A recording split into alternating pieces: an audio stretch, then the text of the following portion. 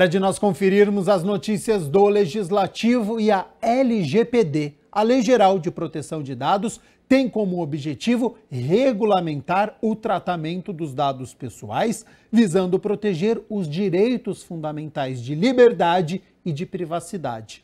A Câmara Municipal de Campinas saiu na frente e criou um comitê para a implantação da lei. A Câmara de Campinas mantém um comitê formado por servidores de diversas áreas, que tem como objetivo principal estudar, desenvolver e implementar as políticas de proteção de dados, para cumprir a lei de número 13.709, de agosto de 2018, a Lei Geral de Proteção de Dados. O grupo, criado em 2022, é formado por servidores da Casa. Paulo Silva, encarregado de dados, explicou sobre os encontros. As reuniões elas são feitas semanalmente, né, raras exceções, é, e são discutidos mesmo a criação das políticas de dados. Né? Então, atualmente, a, o comitê já conseguiu finalizar a política de segurança da informação, que é a PSI, né, faltando apenas a revisão por parte da Procuradoria e posterior aprovação da presidência, né? e atualmente está desenvolvendo a política de proteção de dados pessoais. Né? Então, o comitê está trabalhando com essas demandas, né? os membros do comitê pesquisam junto a outros órgãos públicos, legislações né, aplicáveis e, e vai somando forças para fazer a para buscar a implementação dessa política aqui na Câmara. Ele comentou que são várias formas de coleta de dados das pessoas que circulam pela Câmara de Campinas e que a política de segurança de dados deverá estar pronta até o final do próximo semestre. É, a Câmara, o tempo todo, ela está fazendo coleta de dados. Né? Então, é, o cidadão que vem acompanhar uma sessão, ele passa na portaria, então ali é retido nome, número de documento, foto, né? tudo isso é dados pessoais. Né? É, cidadãos que vêm também fazer visita a vereadores, a presidência, é, fornecedores, né? e enfim, né? são várias as entradas de dados aqui na casa, então a gente precisa tomar um cuidado na coleta desses dados para poder dar o devido tratamento no âmbito da LGPD. Após a revisão, o texto deve passar por uma aprovação do legislativo para enfim ser aplicada. Parte para a implementação disso, né? Então a gente vai ter que criar modelos e regras né, para fazer a coleta desses dados nas portarias, enfim, e principalmente por compartilhamento, porque a gente também compartilha muitos dados né, de servidores, principalmente a área de gestão de pessoas, compartilha dados de servidores com banco, com empresa de cartão de vale alimentação, com plano de saúde, é, com sindicato, então tem que ter um cuidado com isso, inclusive para o, o detentor do dado, ele precisa estar ciente né, desse compartilhamento e ele precisa também concordar ou não. Então, a gente vai ter que criar termo. Né? Então, quando um cidadão vem aqui, passa na portaria, a gente tem que avisar para ele que os dados dele estão sendo coletados e pergunta se ele aceita se a gente faça um compartilhamento futuro disso, se precisar. Por meio do site oficial da Câmara, já está disponível para o público interno e para toda a população informações sobre a lei, inclusive com acesso a guias de orientação, assim como outras diversas iniciativas, a Câmara sai à frente mais uma vez e tem se destacado na aplicação da lei. A gente é um órgão que está um pouco adiantado na implementação disso. Inclusive, a gente recebe é, ligações de outros órgãos perguntando como é que a gente está fazendo isso. Né? A gente explica que foi criado um comitê, que já tem uma resolução que institui esse comitê, que designa que designou um, um encarregado. E, e, o pessoal, e, a, e, assim, a Câmara de Campinas está fazendo isso por conta própria. E tem muitos órgãos que liga querendo saber se a gente contratou empresa para fazer isso. E a gente não contratou. O próprio, os próprios servidores né, estão fazendo a implementação dessa lei aqui. Então, é, câmaras municipais, prefeituras, às vezes, inclusive até de outros estados, às vezes ligam aqui ou mandam e-mail no nosso e-mail da LGPD, arroba campinas.sp.leg.br, é, fazendo pergunta, pedindo indicação. O presidente Luiz Rossini ressaltou a importância do comitê e como a Casa do Legislativo Campineiro está se tornando referência. os servidores também, eles possuem dados sensíveis, que eles devem ser preservados.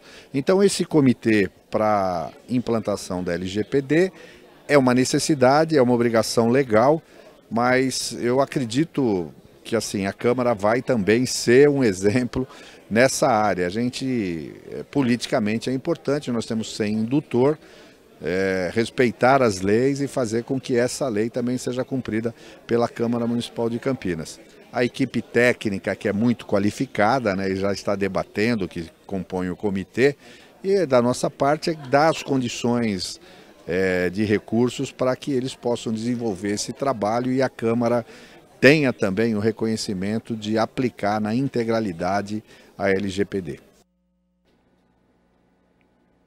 E olha só, depois de três anos de pausa por conta da pandemia, a Câmara Municipal de Campinas retomou o Parlamento Jovem, o programa de formação política e cidadã que envolve alunos de escolas municipais, estaduais, particulares aqui de Campinas. Confira agora como foi a recepção dos jovens na primeira reunião do parlamento aqui no plenário do Legislativo.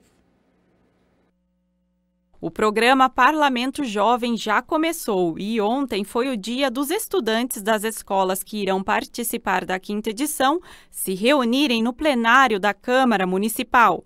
Os alunos foram recebidos com um café da manhã no refeitório da Casa de Leis e depois assistiram a um vídeo institucional sobre o poder legislativo de Campinas.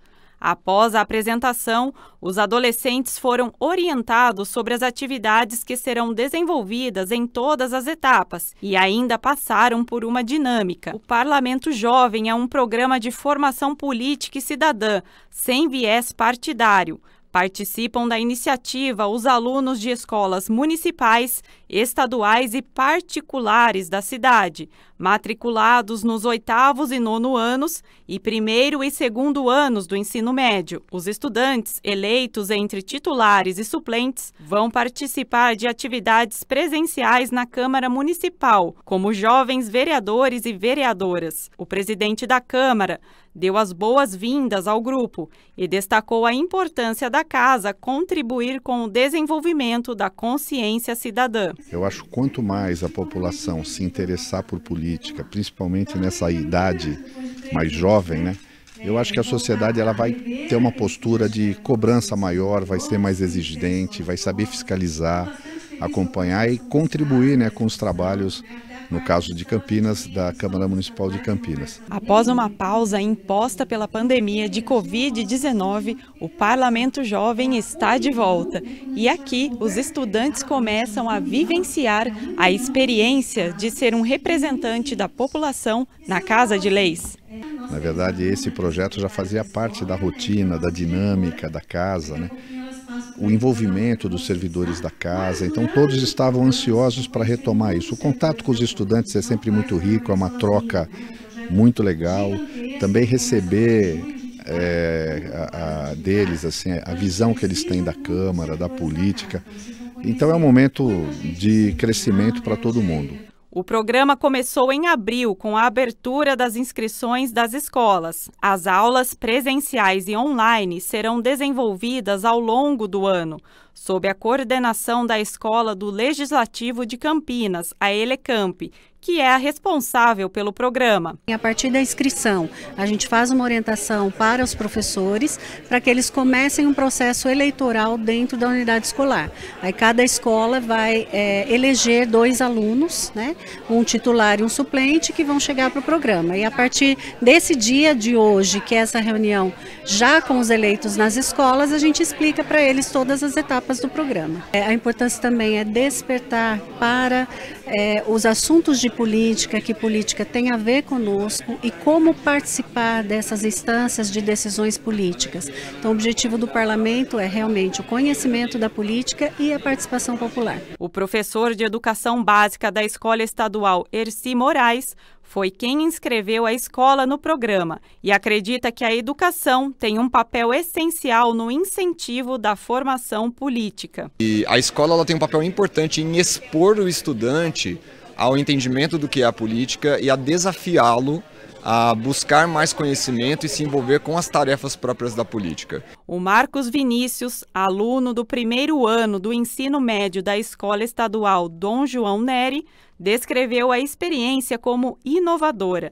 A política, inclusive, é uma das áreas que ele pretende seguir como carreira. Quando você se comunica com as pessoas, você vê e você se identifica também, sabe? E isso é muito bom, principalmente porque um dos meus projetos é ser vereador. Já a Gabriela, estudante do nono ano na escola 14 Bis, foi eleita vereadora pelos colegas a partir de um projeto sobre acessibilidade.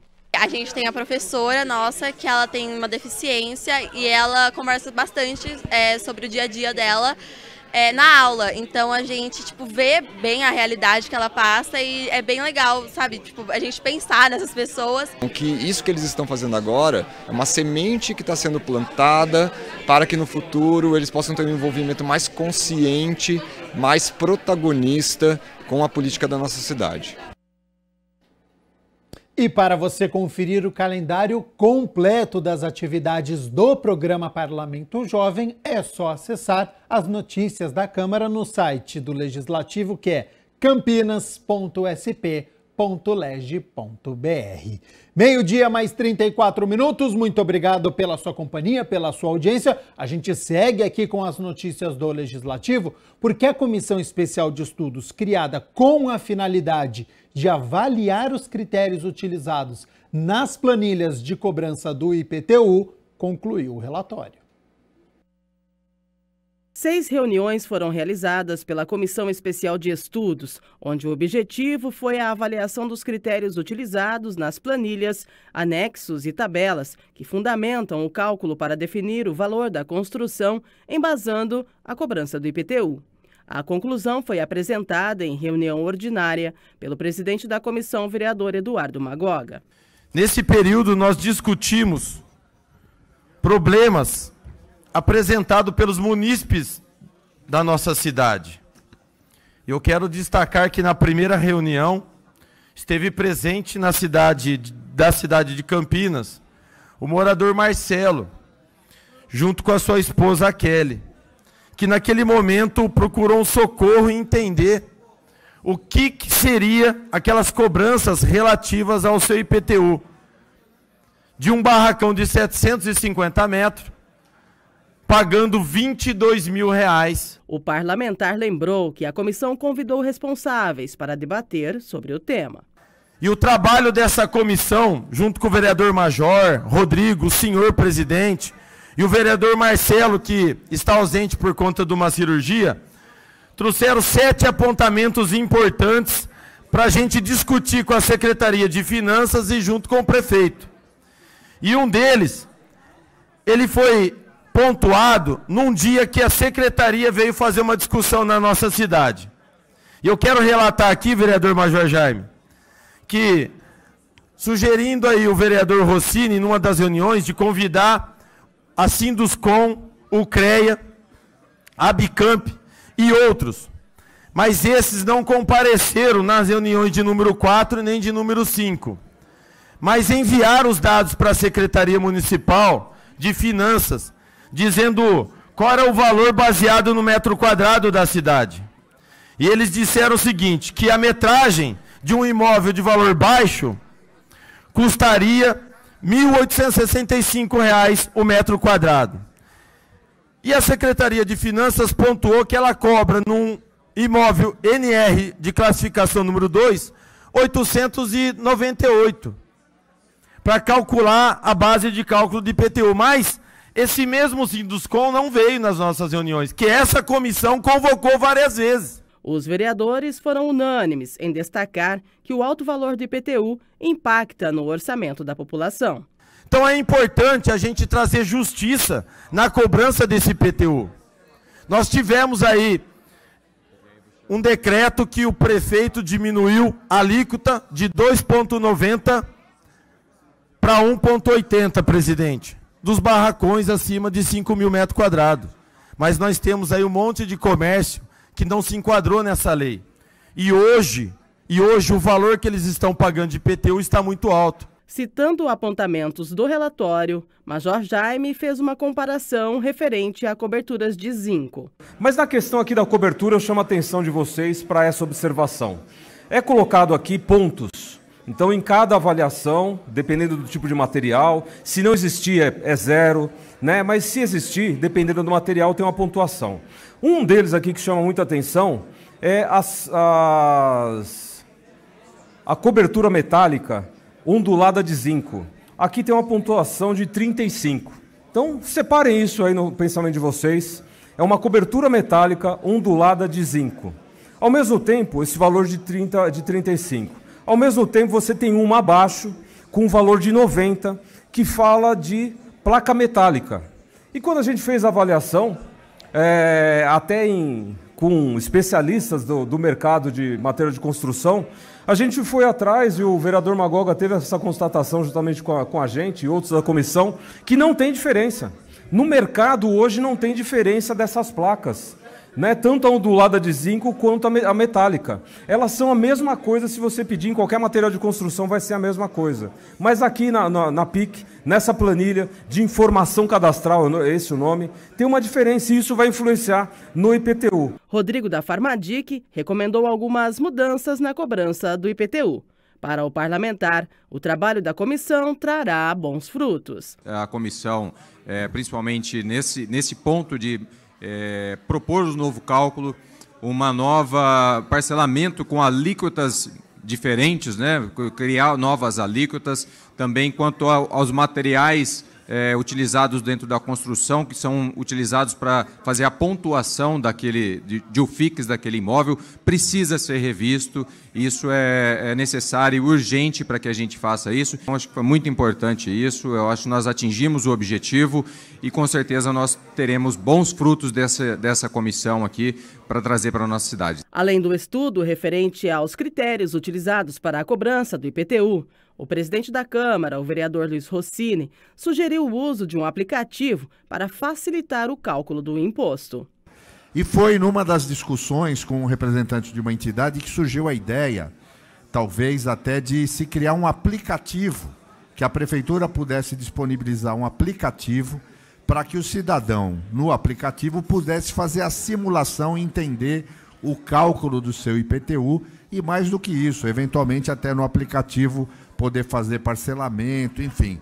Essas sugestões constam do relatório e podem ser, é, assim, adequações, aprimoramentos, não apenas no critério de cálculo para ficar mais justo, mas também para facilitar a compreensão do, do contribuinte sobre o valor que é cobrado do IPTU para ele. O relatório final será encaminhado para a Secretaria de Finanças do município. Então, esse conjunto de informações que vamos levar para a Secretaria e o prefeito vai ser de grande valia para a cidade e principalmente para quem hoje está pagando o IPTU de um barracão que está parado, não está alugado, porque está difícil a situação no mercado, trazer justiça para essas pessoas.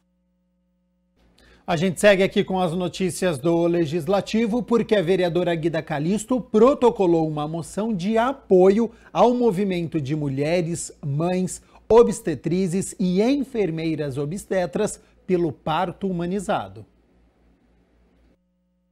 De acordo com a vereadora Guida Calisto, as gestantes estão sendo cerceadas do direito de serem assistidas por enfermeiras obstetras e obstetrizes em um hospital particular da cidade. Essas profissionais não. Essas profissionais são aquelas, elas são a especialidade delas é a especialidade de fazer o parto normal. E aí toda mulher que está né, no período de parto, ela pode, que vai ser atendido por um hospital privado, ela tem o direito de escolher esses profissionais, né, de, da sua livre escolha. E aqui em Campinas existe um, um hospital, que é o Hospital Renascença, que está proibindo essas mulheres de ter o direito de ser acompanhada por essas profissionais. A parlamentar trouxe números para serem avaliados de partos cesáreos realizados no Brasil e a comparação com a cidade de Campinas. No Brasil, por exemplo, a gente tem que o número de partos realizados no Brasil, 56% é parto cesariana. Isso já é um número alto. Campinas, a situação é pior. É 71% dos partos realizados aqui em Campinas são partos cesáreas. Né?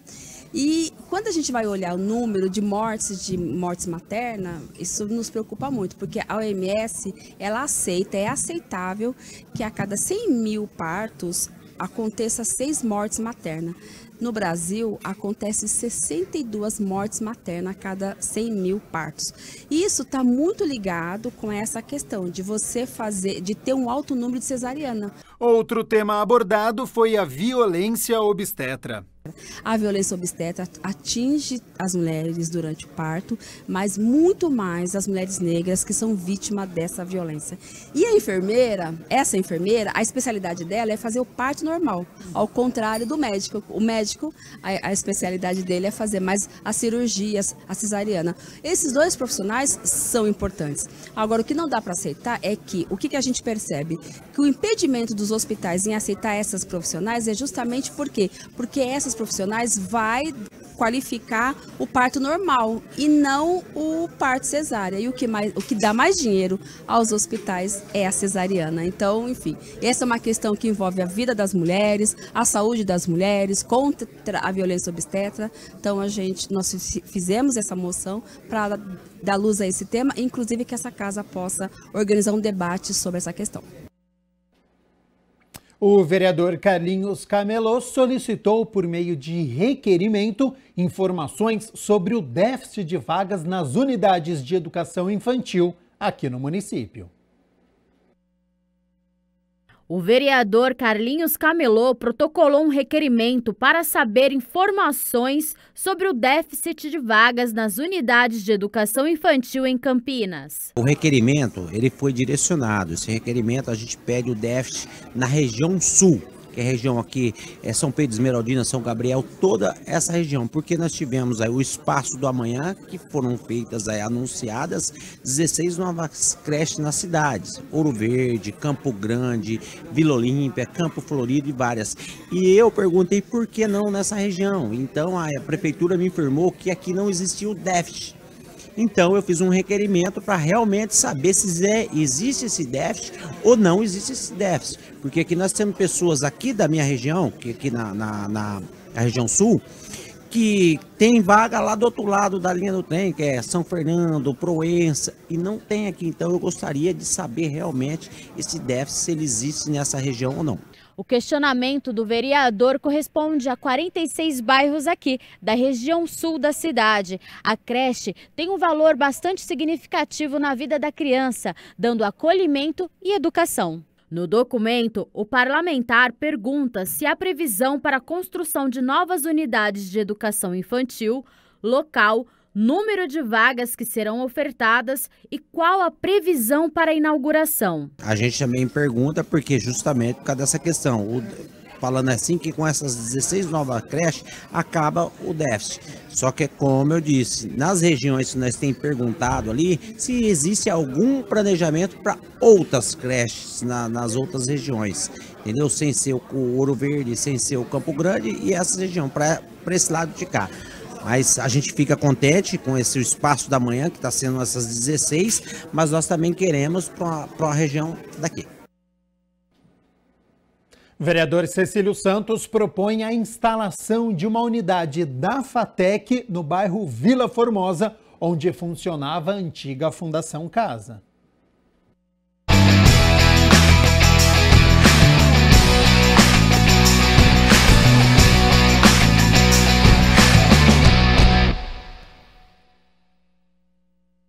Neste local funcionou a Fundação Casa Jequitibá, uma entidade para atendimento a jovens infratores.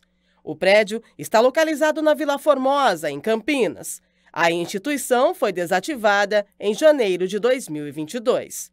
Em busca de atender uma solicitação da comunidade da Vila Formosa, o vereador Cecílio Santos encaminhou uma moção de apelo ao governador do estado de São Paulo, solicitando a doação da estrutura. A proposta é transformar o local em um centro de ensino. Nós estamos em tratativas é, com o governo do estado, já fizemos uma reunião com o presidente, da Fundação Casa, né, para que esse prédio que era usado para a Fundação Casa seja utilizado pela educação, que aqui seja uma FATEC, uma escola técnica, porque nós temos nesta região muitos moradores e não tem nenhuma, nenhum equipamento público de educação né, que prepare o jovem para o mercado de trabalho, para a vida. É isso que a gente quer, transformar o prédio que era uma prisão num prédio para a educação. O parlamentar se reuniu com a comunidade que aprovou a ideia. Nossa, foi a melhor, foi a melhor solução que trouxe para a gente, para a nossa comunidade, onde possa ser, a, a comunidade pode ser beneficiado e tirar esse jovem desse estado ocioso aqui e a nossa comunidade vai ficar muito contemplada com esse com esse bem feito para a nossa região. É uma reivindicação antiga dos moradores e que, junto com o deputado Donato, nós temos é, feito as tratativas com o governo do estado para que a comunidade possa contar com esse equipamento. Então, nós estamos inclusive recolhendo assinaturas no abaixo assinado. Essa interação com a comunidade ela é fundamental para que a gente tenha êxito nesse pleito. A FATEC oferece curso superior através de processo seletivo. No estado de São Paulo, os alunos da FATEC já somam mais de 90 mil. Marcos é morador da Vila Formosa e afirma que uma FATEC no bairro deve trazer ótimos benefícios, tanto do ponto de vista social quanto educacional. Eu acho muito importante porque esse espaço estava ocioso mesmo né, e vai trazer é, educação né, para os nossos jovens, que acho que está faltando aqui. Né? Esse espaço está aqui parado há algum tempo já. E o que, que, a gente espera? Que mais fundações, casas possam ser fechadas, é, considerando que menos jovens infratores, né? E que mais fundações casa possam se transformar em escola, espaço para educação e cultura. O vereador já tem os próximos passos das tratativas da viabilização do espaço. Nós temos uma reunião agendada com o secretário de Ciência e Tecnologia, justamente para discutir o pedido que ele deve fazer para a Fundação Casa, então passando da Fundação Casa para a Ciência e Tecnologia e aí poder implantar a escola técnica, se Deus quiser.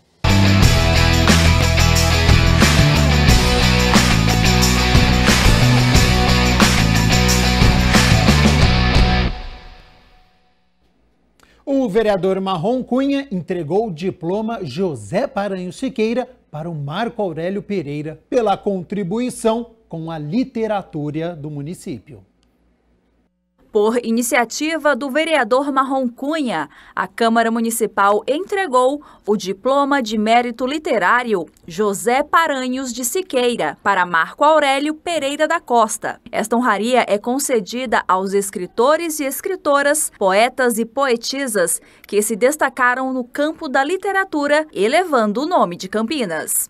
É um prazer imenso estar aqui e com muito orgulho de saber que a gente pode homenagear a uma pessoa assim que, é, vamos dizer, do município de Campinas, moramos na região do Campo Grande e moramos também no Jardim Florense. Então é uma honra estar aqui representando. Eu que só tenho a agradecer, Marco Aurélio, que pessoas igual você, que faz a diferença para a gente, dessa de colocar o seu trabalho, trazer toda essa visão trazer toda esse, essa preocupação hoje, né, com a nossa comunidade, nossa sociedade, e de tão importância esse trabalho. Eu acho que você se sente muito orgulhoso, mas eu falo para você, nós temos muito mais orgulho de você. Para parabenizar na tribuna o homenageado, foram convidados amigos e a professora Maria Donizete, professora da escola onde Marco Aurélio estudou. Marco Aurélio nasceu em Goianésia e veio para Campinas aos 10 anos. Ele é formado em Ciências Econômicas pela PUC Campinas, além de ter formação em Teologia Básica. Marco escreveu o livro O Canal Métodos de Estudos da Bíblia, o objetivo da obra foi contribuir com a cultura através do incentivo à leitura da Bíblia. O homenageado ficou emocionado em seu discurso e agradeceu os frutos que seu livro trouxe ao longo dos anos. Se eu me emocionar aqui, vocês não liguem não, porque estar num lugar tão importante como esse, é, sem merecimento, torna mais ainda, né, motivo de emoção este momento. Então, em primeiro lugar, eu quero agradecer a Deus, o nosso Criador, porque só por Ele é que realizamos né, e podemos estar aqui num, num evento como esse, numa cerimônia como esta. Também quero agradecer aqui logo em seguida o excelentíssimo senhor vereador Marrom Cunha por esta homenagem tão é, gratificante para mim.